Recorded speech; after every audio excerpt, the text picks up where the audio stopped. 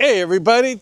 So, today, what we're going to talk about is a question that everybody keeps asking me over and over again. If you were buying a house, what kind of house would you buy and what would you look for? Because obviously, I'm a home inspector. So, this is my house behind me. So, I picked this, but I had 10 things that I had to make sure that it had before I bought it. And we're going to go over the 10 things that I would look at before I consider buying any house. So let's get started with number one, but stay till the end because the last one is the most important one and you're not going to want to miss that one. In the meantime, do me a favor, consider subscribing, hit the like and hit the share and let's get started. All right, the first thing I would look for if I was going to go buy a house myself again, do, I would make sure that the house was block. What's the easiest way to tell if a house is block and not wood frame? So, so basically, you look go to the windows and look at the windows, the how if they're indented inside. So if the windows are pushed in, 99% chance it's block. If it was a wood frame house, the window would be flush. So really, really consider that. It's really important. I wouldn't buy a house that's wood frame. One, it's termites. Two, block is stronger. There's a lot of benefits to block. Now, a lot of the homes in Florida are block on the first floor and the second floor they're wood. That's okay. I'm okay with that. Like I have a bonus room upstairs and I'm going to do a flyover so you can see it. But eh, that's that's wood frame. So second floor being wood frame, I'm cool with it. But the bottom floor, I would definitely want it block all the way around. Some of the homes, they're block, and in the back, there's a little part of wood frame. So that's really important. That's the first thing. All right. Another thing that I would definitely look for if I was talking to a realtor that says, hey, I want to buy a house, I would make sure, I would tell them, I want the building permit for that house to be after March 1st, 2002. It's really important when it comes to insurance because they use different building codes after that date. So I would tell basically the realtor, you know, say, hey, listen, find me a house that's 2002 and like 2003, 4, 5, 6. I would definitely um, look at those houses. But I'm not saying houses that are older than 2002 are bad, but the ideal situation would be a house that's 2002 and newer. So I would definitely look for that. It's not a must do thing, but I like that building code better because it was after a few major hurricanes and they really upgraded the codes and there's big benefits to them. Like one of the examples is, I'll put some pictures up here. It's like the roof to the wall attachment has what's called straps. Okay, so if the wind gets underneath, it's not going to blow the roof off. Or that's usually straps are usually with block homes, but if it's a wood frame home, what they would do is use clips, which is like a metal clip. I'll put a picture of that up also so you can see it. So that's just one example of the new building codes that were required after that date. So yeah, I would tell the realtor, hey, could you find me a house that's newer than 2002? All right, here's one that's really important to me that I would definitely tell the realtor, you know, I want to, I want this. Hip roof. So hip roof, check out this uh, video above that you're seeing right now. That's a hip roof, that's my roof. But it doesn't have to be 100% hip. And a hip roof is like a pyramid style, basically. So wind can't grab it from anywhere. So I, you know, basically, it has to be at least 90% hip. So like in the front of my house, you know, you'll see that there's a couple of gables in the front of there. But if you take all the perimeter of the house and you figure out what how many feet it is, just don't go over 10% non-hip, and then you're good to go. So I would tell the realtor basically, hey, the house you find me, make sure it has a hip roof. It's really, really important to me. All right, one of the biggest, biggest things for me, because I'm doing the top 10 things that I would look for, is privacy. I, like you could see that I have a swimming pool here. All right, I want my backyard to be private. So I made sure, like, I even have bamboo trees on one side, and I, there's bamboo trees on the other side. So those houses are being blocked out. And then in the back, I basically have cattle and I have trees overgrown and I have a pond in the stream. So I wouldn't look at any house at all that has, you know, a house right behind me. So when I'm in my backyard, they can look out their window and and uh, see me, that's no good for me. I would be like, no way, I'm not buying it. I don't care if it reaches, it has all the nine other things. If it doesn't have a really good private backyard, I'm out. I'm not buying it. And again, all this, all these 10 things that I'm talking about are just my opinion. You guys comment below what you guys think. But in my opinion, if it doesn't have privacy, I'm not buying it. In the front, I understand you're not going to have privacy because you have cars driving by, kids playing, and uh, that I'm okay with. But in the backyard, it's privacy or I'm not buying it. Don't even show it to me. All right. So another thing, basically, I would negotiate this one. Okay. And actually, Bill just showed up, and I'm going to put him on the spot. Bill, because Bill's a realtor. Everybody knows he was late for this video, so we started. But here he is. Working. Work never stops. So we're doing the top 10 things that I would need in order for me to buy a house. Okay. Now, air conditioners, okay? Air conditioners, I would want them to be no older than 10 years old, okay? If it, they're more older than 10 years old, I would tell the realtor to negotiate. What do you usually do with older air conditioners? So at 10 years, you're going to have trouble depending on other issues with the house. Trying to get somebody to replace an air conditioner at 10 years, you might be able to get somewhat of a credit for the air conditioner at 10 years. Oh, thanks, Jimmy. Never know. you never know. So you might be able to get a credit, or what you would do is ask for like things that you found on the inspection report, and then you know just get a credit for it, not necessarily a repair. But that would be how we approached it. All right, here's another one, okay, out of the top 10 list. If the roof is older than 12 years old, I would try to negotiate some money off if the roof is 12. And people are going to be like, 12 years old? That's, that's, but that's me, okay? But Florida, the roofs get really, really beat up really easy over here. So if you're moving to Florida, you know, older roofs, 14, 15, 16, 20 years, a lot of insurance companies don't like it. What do you think? Uh, no, I agree. So when an agent is actually listing the property, they should be taking into consideration those items: the age of the roof, age of the AC, when they're pricing the house out and they're doing the comps in the area. Yeah. So basically, AC very important, and and roof age very important. Consider those things. All right, let's go to the next one. All right, here's an important one that a lot of people miss, but they don't realize how expensive it is. Okay, if you're buying a house, even if it's a 2002, 2003, and the, and the windows and doors are reaching 20 years old, check every window and check every door because a lot of them are just bad. Okay, they're not energy efficient. They're they're hard to open. They're hard to close. And windows and doors are really really expensive, especially in some areas. You have to put impact. Like this door right here, this is impact. Okay, and this slider alone was what nine ten grand. Yeah, I think that's what you told me. Yeah, like ten grand for one slider. What what do you think about windows and doors?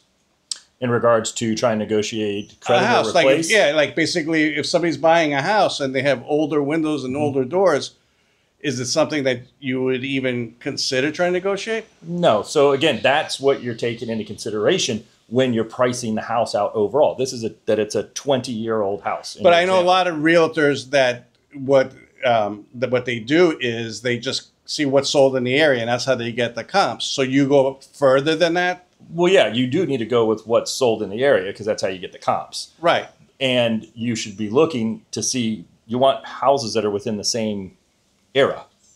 You know, so you would need to know like you can kind of look at the photos and stuff and descriptions to see if the windows and doors have been replaced because that might be an outlier in why that particular property was worth more money than the rest of the general properties in that neighborhood. Well, let me let me ask you this question because obviously the inspection is not going to be done. You you have to make the offer first, and then you get the inspection. Mm-hmm. Okay. So when you, as a realtor, because I, I work with so many realtors that I, I know this answer for some of them, you would look at the comps, but then would you walk around saying, okay, that's pretty old, that air conditioner, or those windows are pretty old, or that roof is old, and then when I do a listing, when, no, when, when when you do a listing or when you have a buyer, both. both. Yeah, so I look at everything when we're listing and when we're on the buy side. So when we're on the buy side and I'm representing, I'm going to walk around. I take a look at the panel because I know what I'm looking for. I look at the So, like, let's talk about panels, okay? Yeah. So, if it's an older, like on this video, I said I wouldn't buy a house that's, you know, permitted before March 1st, 2002, because I want the newest Right. building Yeah, codes. makes sense. So that's just my thing. But Mhm. you know, a lot There's more a lot of houses. people. Yeah. It's just my thing. So, but those older houses, you know, they have some Chamberlain, some Zinsco panels, some Sylvania panels, you know, and Right. insurance companies just don't like them. Right, and you're going to have issues with your four point. So those are things that I would typically advise you to. We'll address that when we make either we can do it when we make an offer and bring it up straight away, or a lot of people on the when you know the uh, competition on the other side from the listing, they're going to say, well, let's wait until the four point comes in. So we'll wait till the four point comes in, and then we'll address it.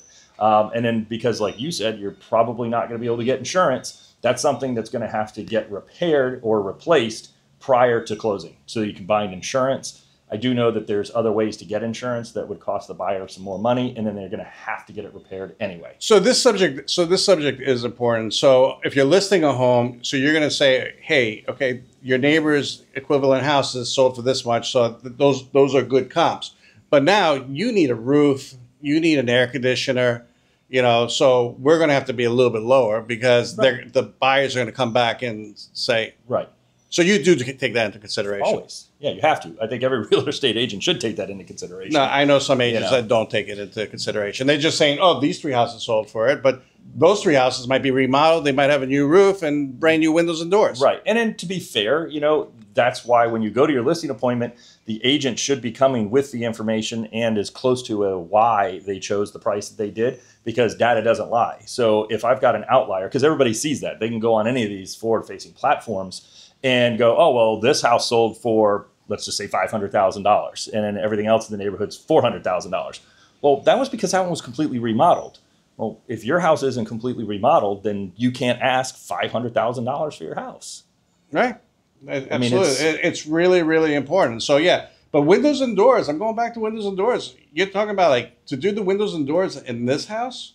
It was like fifty thousand Yeah. dollars to do windows and doors. And typically because i know you've done a ton of inspections for me that a lot of times like the where the couch is you trying to get the window open that doesn't mean that you need to rip it out and replace it just No. it needs maintenance It needs maintenance. and then you're probably never going to open the, the window either because you're going to put a couch there um, but i get it you do want your stuff repaired and i heard you touch on a point that i think is interesting so i'd like your your feedback on this swapping out your windows simply for efficiency purposes we're talking Energy. single pane Yeah. just single pane, single sash. We're not talking jalousie windows or anything old. We're talking just regular single hung windows Yeah. with a single pane of glass.